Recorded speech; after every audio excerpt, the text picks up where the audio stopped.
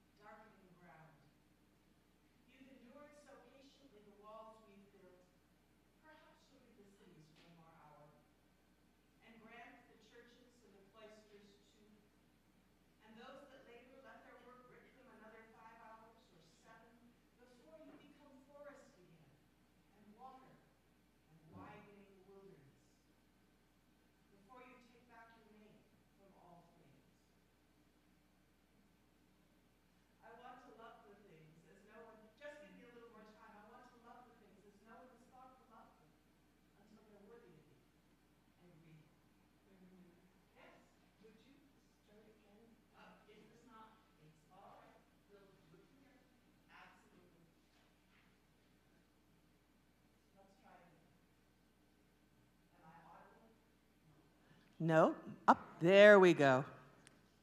Dear darkening ground, you've endured so patiently the walls we've built. Perhaps you'll give the cities one more hour. And grant the churches and the cloisters too, and those that labor, let their work grip them another five hours or maybe seven before you become forest again, and water, and widening wilderness when you take back your name from all things. Just give me a little more time. I want to love the things as no one has thought to love them until they're worthy of you and real. And then our chalice lighting words come from the Reverend Scott Taylor.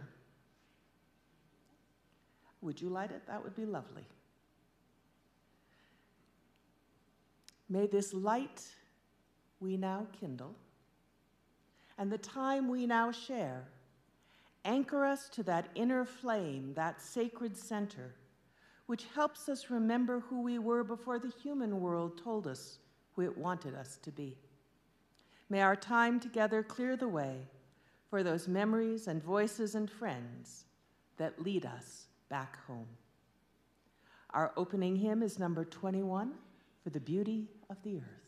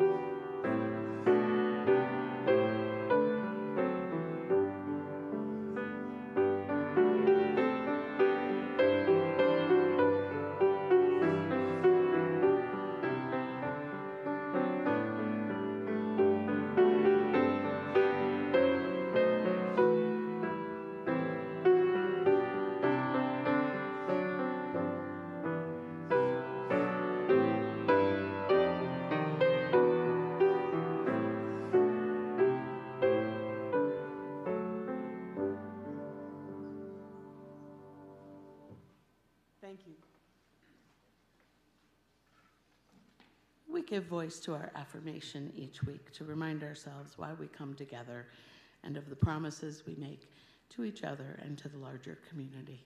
Please join us in speaking the affirmation. Love is the doctrine of this church. The quest for truth is its sacrament, and service is its prayer.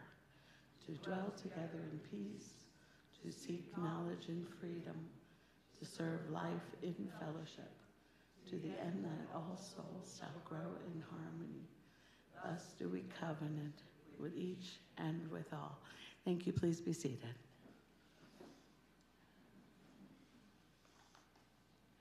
Um, There were words um, of uh, joy and sorrow written in our prayer book there next to the candles. Um, I saw the first one. Let me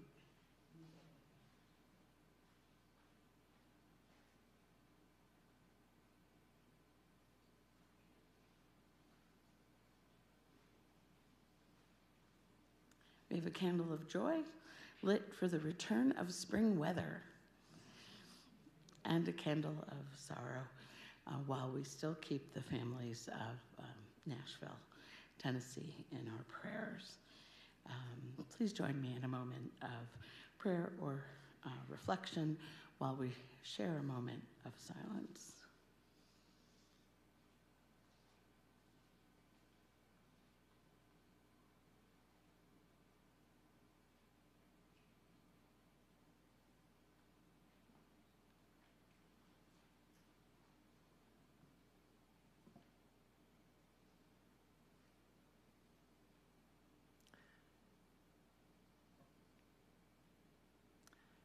Resting together in the quiet, let us breathe and allow our bodies to relax. Let us allow our thoughts to drift and our hearts to soften and open. And as we rest here together, I invite you to feel the affection and regard of this community. Breathe. And as we settle into a time of ease and calm, I offer you these words from Harrison Hill, compost offering found in Orion magazine of all places back in December of 2022. In the morning, I walk to my compost like a pilgrim approaching a shrine. My offerings are humble espresso grounds and oatmeal leftovers, but I am confident they will be appreciated. I give the compost a preparatory fluff, mixing the drier periphery into the moist center. I dump my scraps. At first, I mix them with a spoon, and then, when I've achieved a certain degree of integration, I dive in both hands, lifting and fluffing this animate, edible diary. I cannot decompose as my microscopic workers do, but I can help them with their labor. Here, let me mash that almond. Let me snap that stalk. Can I get you a spray of water? What pleasure there is watching the food demanifest itself. Orange peels are my favorite. At first, they seem so sturdy, but within a day, they begin to soften, literally warming to their surroundings. Within 48 hours, they are squishy to the touch. By day four, they have developed a sugar plum delicacy. Then, by day five, how? They are gone. This is anti alchemy, the exquisite transformation of something into nothing.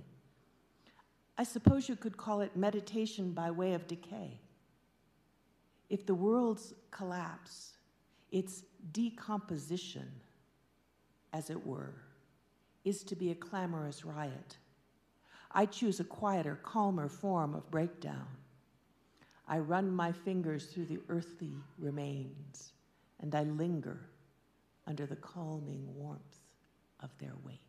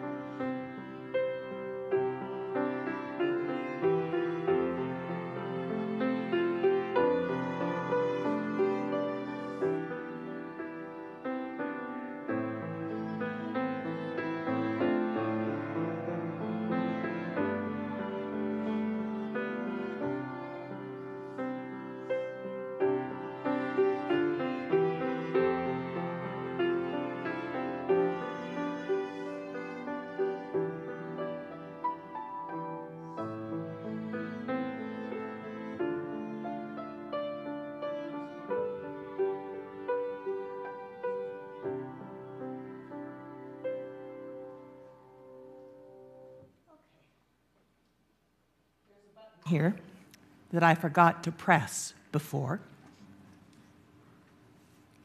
I hadn't realized it was off when it was handed to me. So let's get that taken care of. And then I have a book to share with you um, and an activity kind of for the young people. Let's get that. There we go. Women's clothes don't have pockets. So there are other ways to rig things. Is it okay if I sit right here?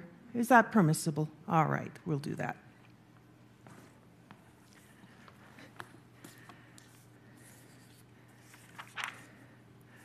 So,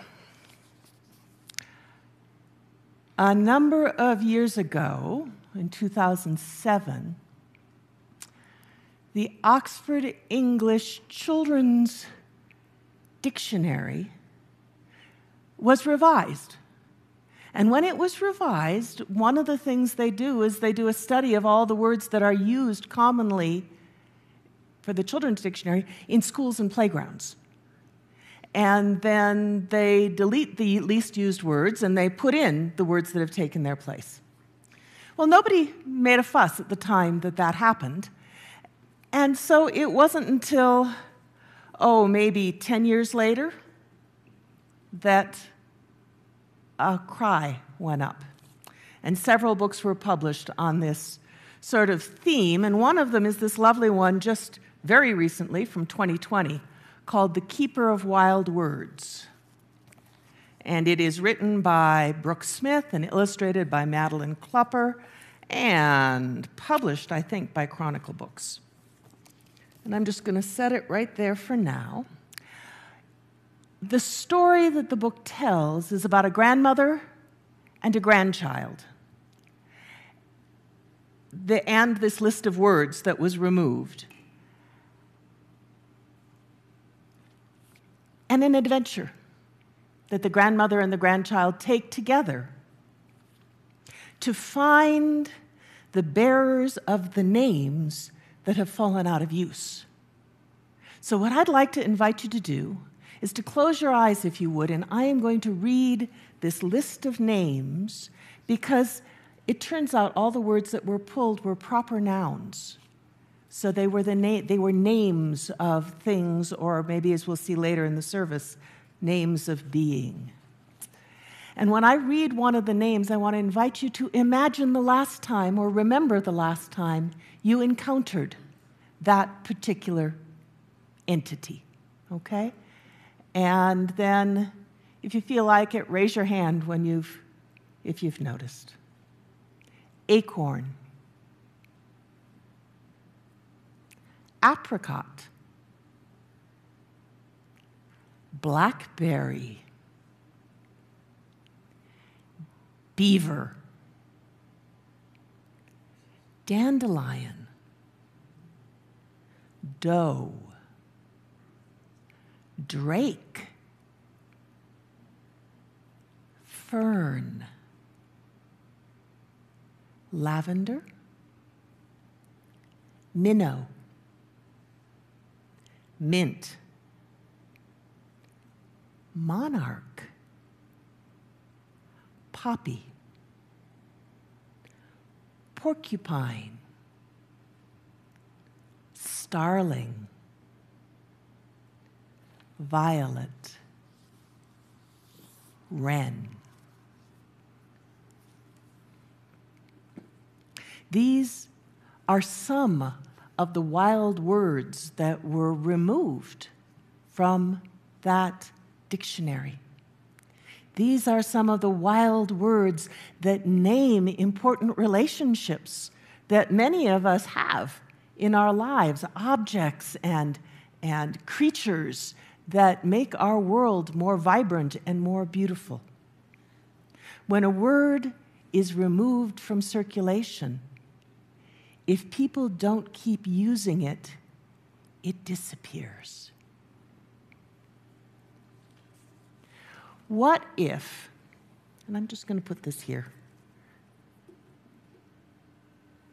What if all of those plants along the roadside between here and Santa Fe simply became weeds? Right? Not dandelions, not goat head, not globe mallow or cowboy's delight. 2007, 100, year, 100 words were removed from that Oxford Junior Dictionary. 40 of those words had to do with the natural world. All of the words put in in their place, just about all of them, were words that had to do either with technology or politics. Now remember, this was, these were words that were used on the playground by children in elementary school. And the idea that words like starling and buttercup had gone missing and were replaced by things like MP3 really is sort of disturbing.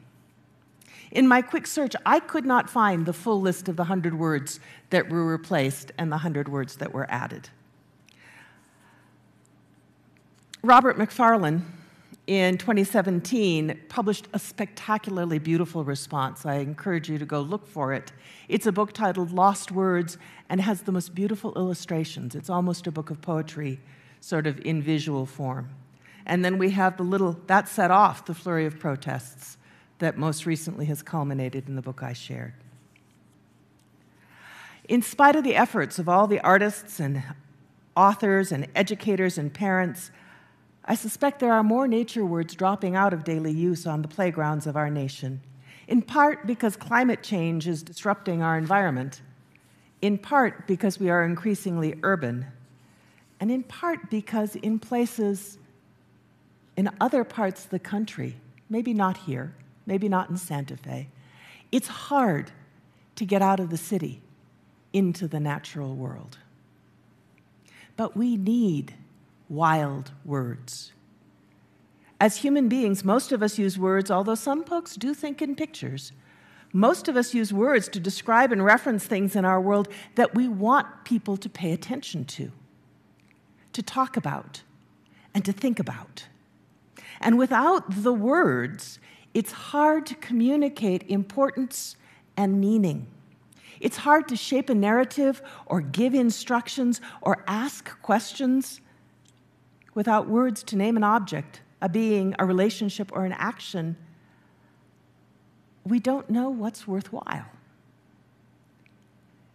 And if we never encounter that object or action to which a word refers, we may never have occasion to learn it at all.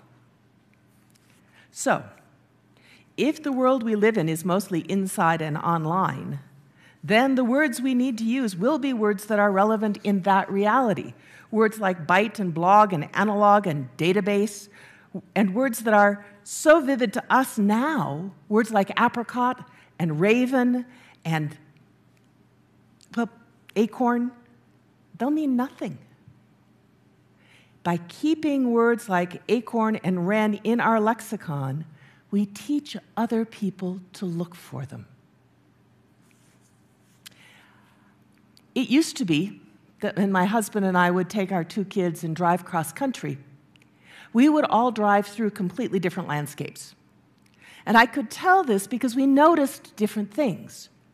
My husband could tell you about every car we passed what was the year and the make, and was it still being made? And, and my son watched for wild things. He noticed the birds and the deer in the fields and the rabbits and the, you know, the creatures along the side of the road. My daughter noticed horses, only horses, all horses, and could tell you all about them. Me, I noticed the plants. Somehow, traveling through these four completely different landscapes, we still ended up at the same destination. But boy, our journeys getting there were different. My point here is that what you care about directs what you see, and the words that you have direct what you notice. Take pronouns. We do pronouns at UU Santa Fe. I would normally say, My name is Gail Lindsay Marriner. My pronouns are she and her. When I was growing up, he, she, and it were all the options we had and it shaped our seeing, right? Any singular thing that wasn't male or female was an it.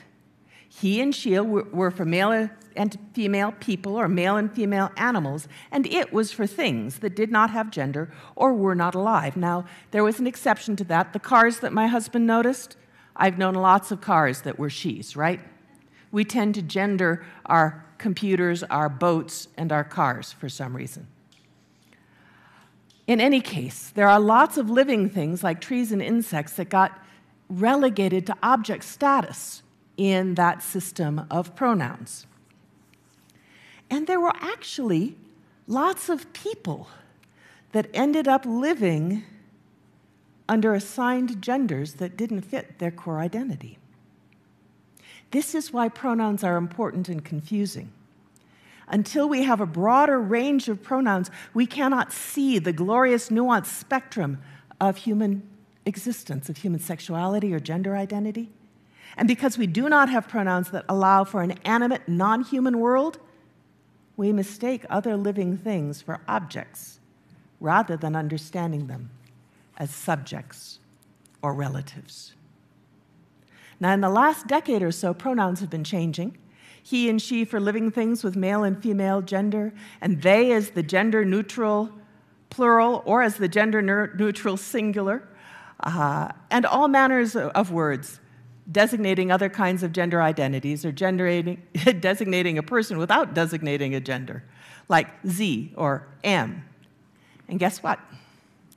As I have learned to offer my pronouns, other people share theirs, and it's no big deal. I just get reminded in day to day conversation that gender identity is more varied and complex and delicious than the binary I was raised with. To shift a worldview that has been embedded in language, one of the necessary actions is to begin by shifting the language. Our topic this morning is centering Earth community.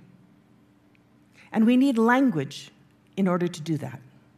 We need all the lovely lost words from the children's story to help us pay attention to the more than human beings that share our planet with us.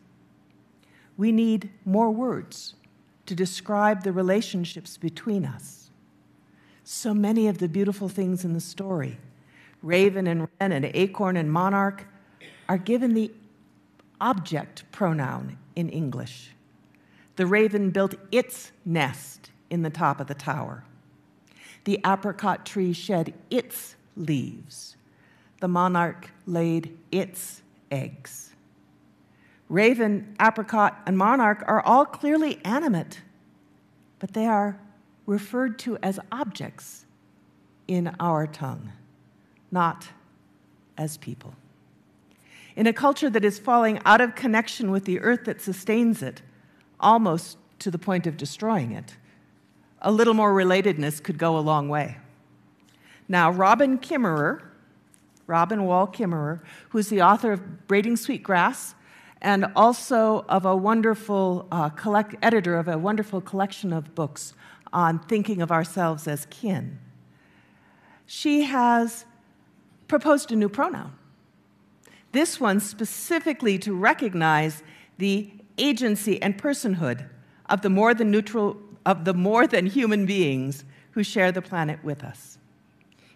Singular, gender neutral, is ki.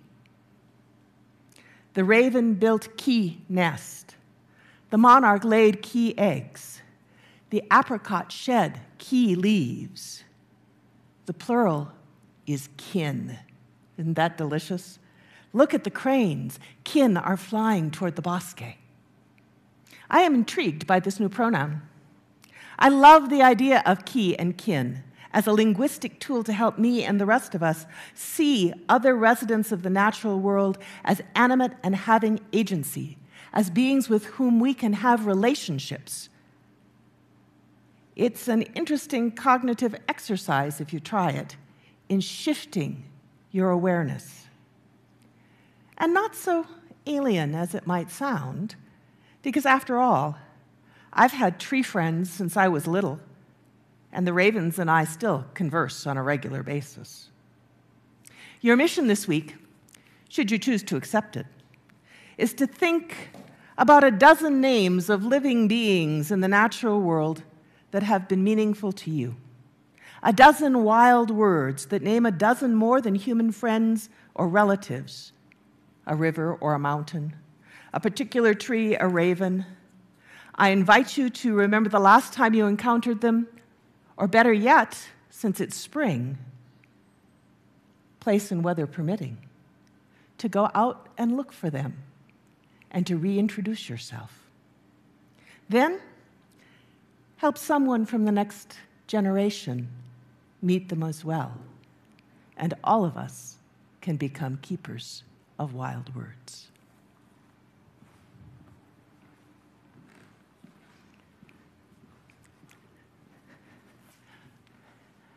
Actually, that was the homily there, and the time for all ages. There we go.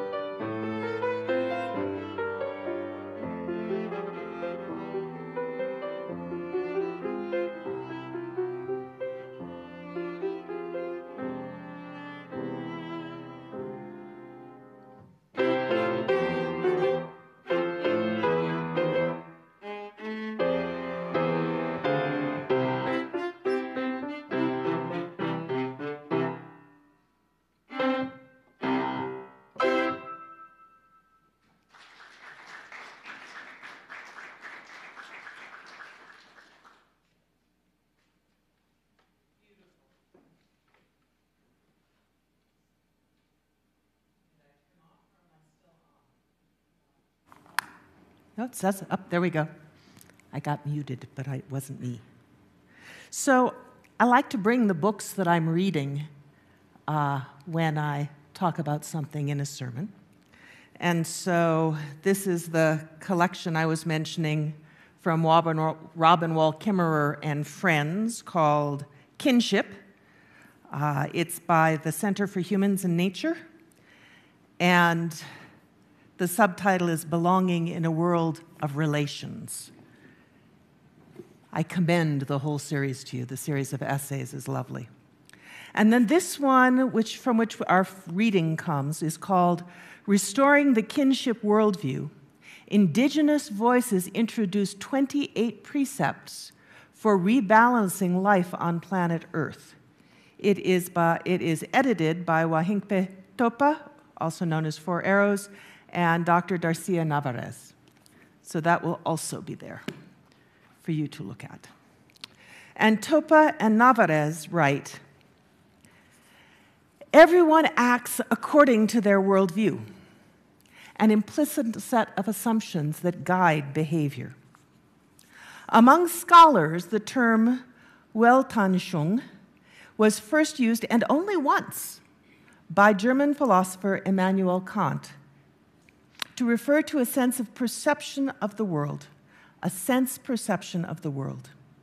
The term spread through German scholarship, with Heidegger interpreting it as a world intuition in the sense of contemplation of the world given to the senses.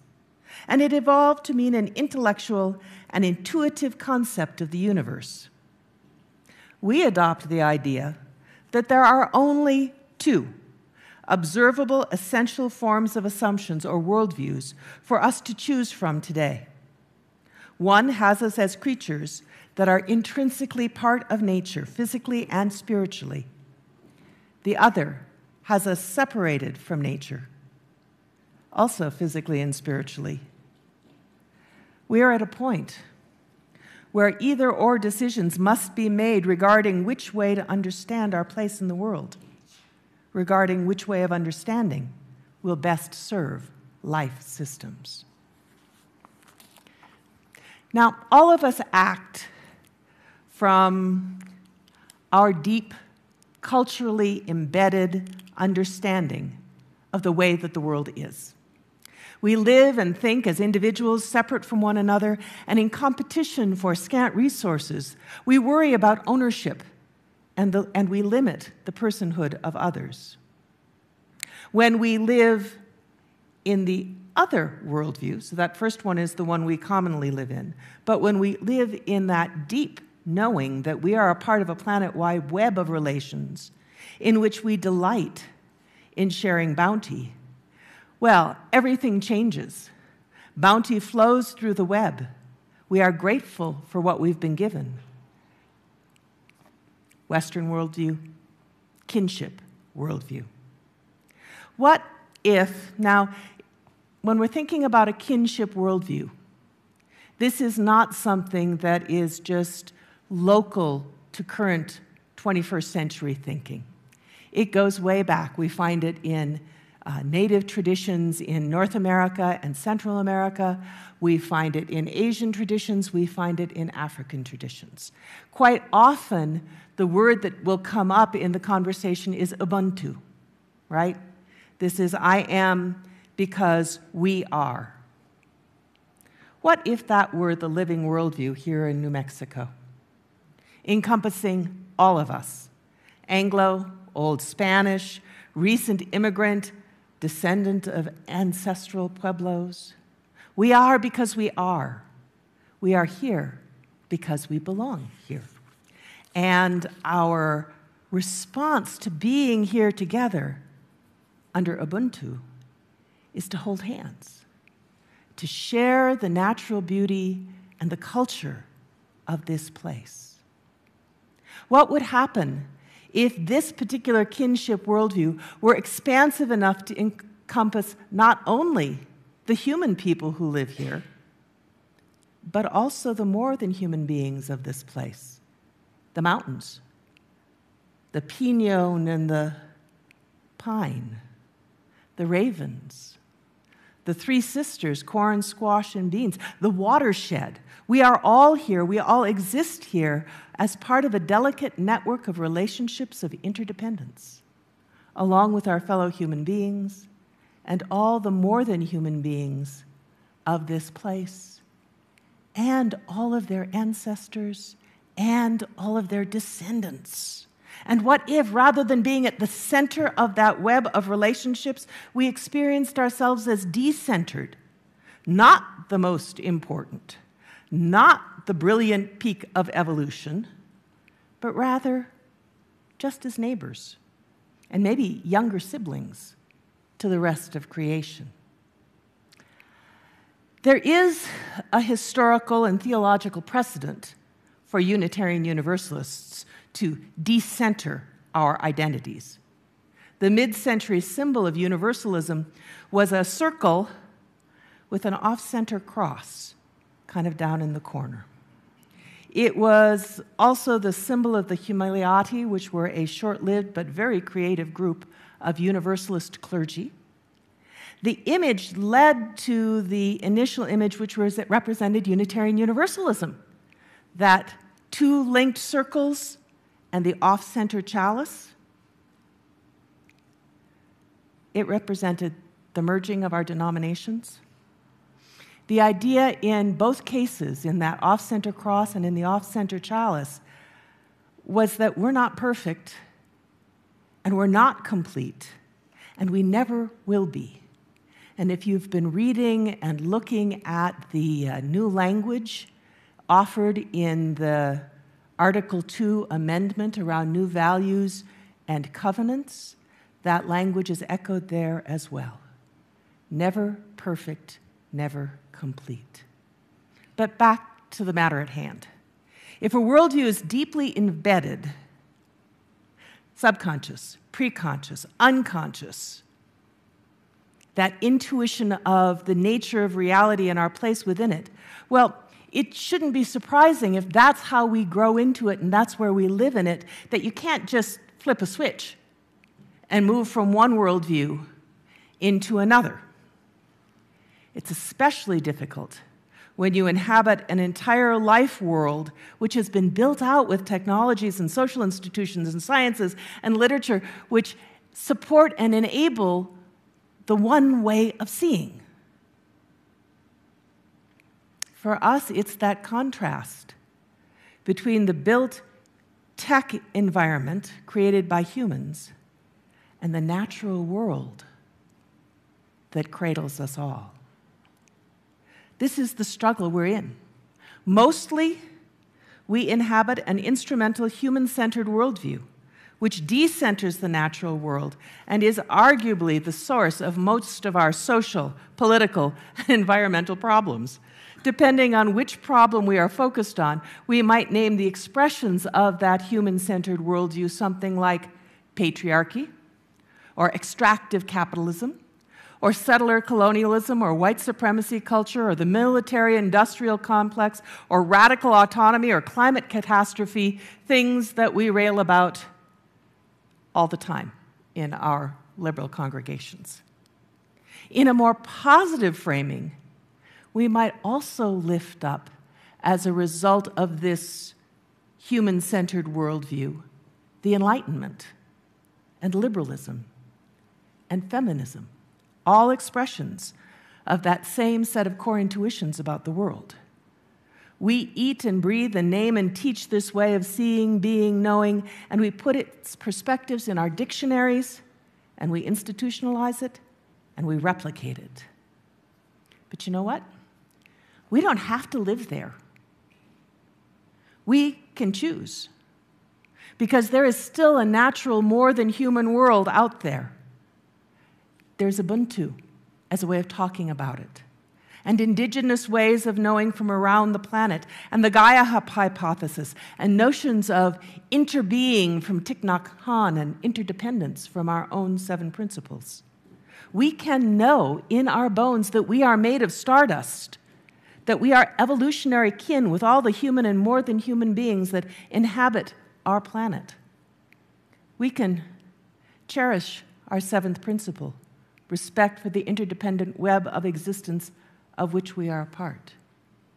These, I would offer, are expressions of a profoundly different, animate, entangled, interwoven, living worldview, which displaces the human individual from the center and focuses on the more dispersed web of connections that we are each a nexus in.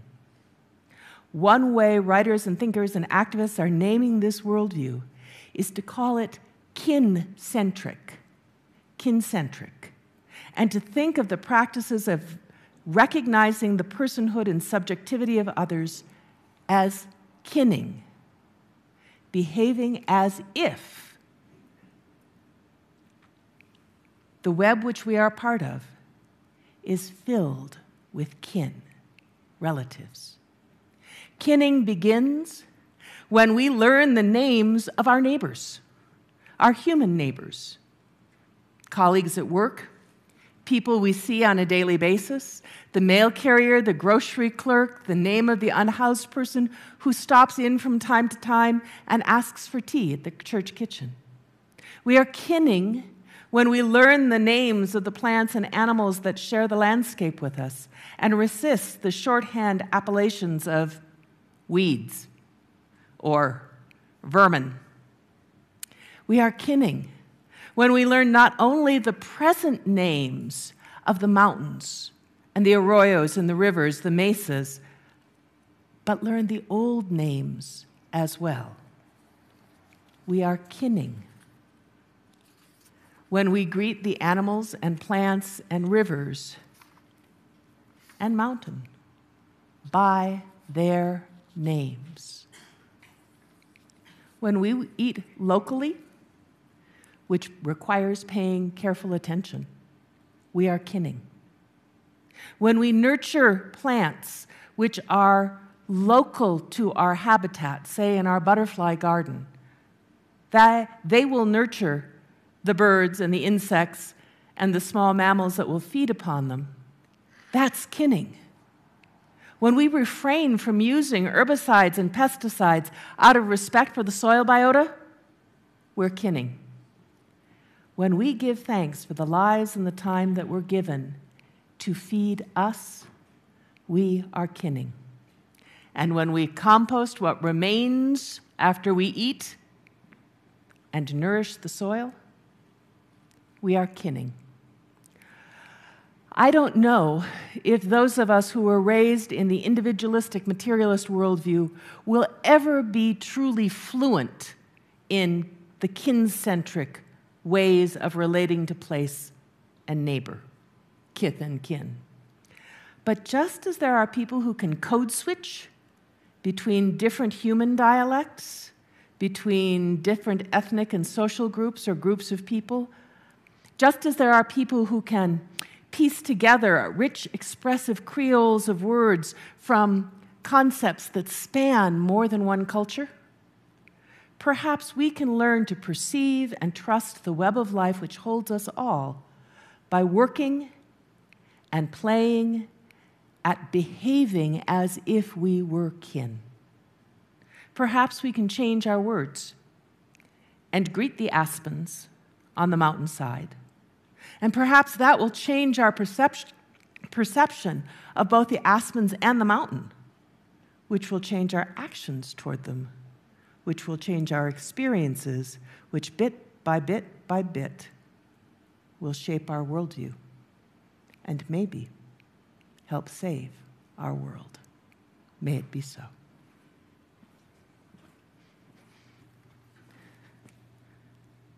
That's better.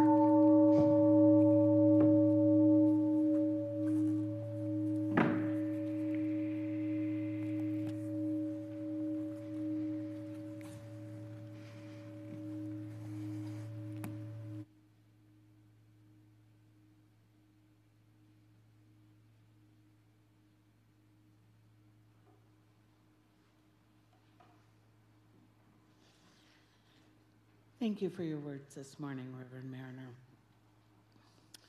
All offering funds for the month of April 2023 are accepted on behalf of Espanola Pathways Shelter, a nonprofit that works to prevent homelessness and provide the homeless community with access to viable pathways, shelter, care, and essential support services toward meeting their personal goals. To date, they have served nearly 28,000 meals and provided nearly 6,600 people with shelter. Uh, please use the basket. I will pass the Givelify app on your mobile device, uh, the box at the back of the room, or the link in the service notes to make your contribution. Thank you for your generosity. May what you bring give you joy and a sense of greater connection to the wider world.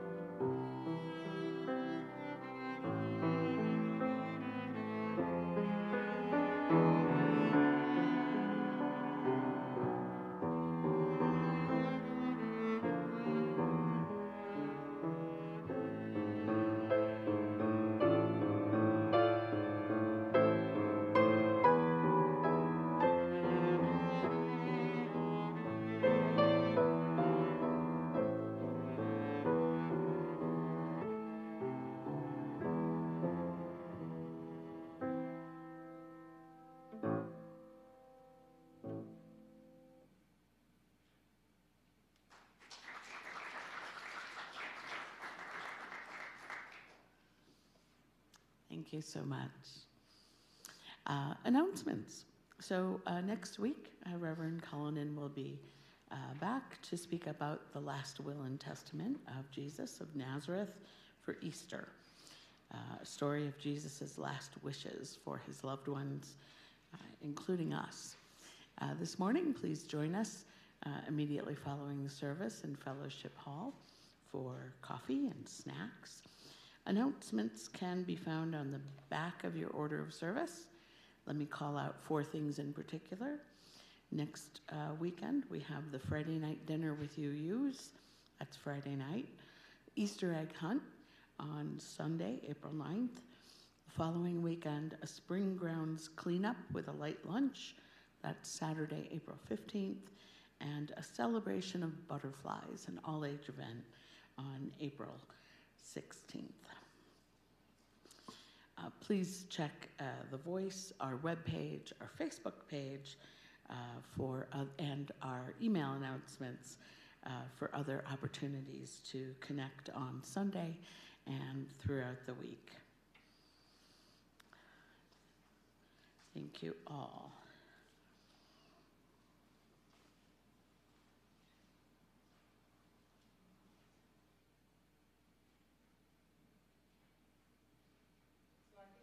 Uh, at our closing hymn, 1064. Please rise as willing and able.